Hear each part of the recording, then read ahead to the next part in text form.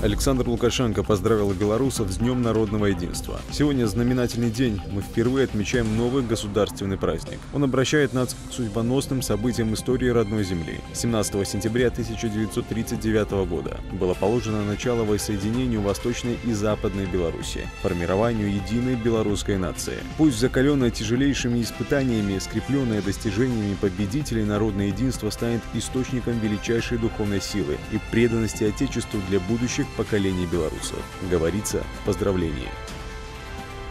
Минздрав приостановил работу двух лабораторий за некачественное выполнение ПЦР-тестов. Претензии к ним возникли еще летом. Как сообщили ведомстве, недостатки в этих учреждениях влияли на качество и достоверность результатов.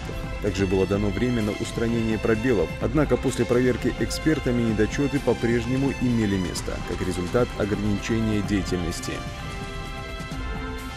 Граждане России, которые постоянно проживают или временно находятся на территории Беларуси, смогут проголосовать на выборах Госдумы на восьми избирательных участках. В частности, в Бобруйске в здании Могилевского областного театра драмы и комедии имени Дунина Марцинкевича. Время работы с 8 утра до 8 вечера. В Бобруйске откроется традиционная ярмарка сельхозпродуктов. График работы следующий. В сентябре 18 и 25 числа, в октябре каждые выходные. Последний день 7 ноября с 9 до 15 часов. В это время можно будет совершить покупки. Ряды разместятся на проезжей части вдоль дома номер 41 по улице Максима Горького за гор исполкомом.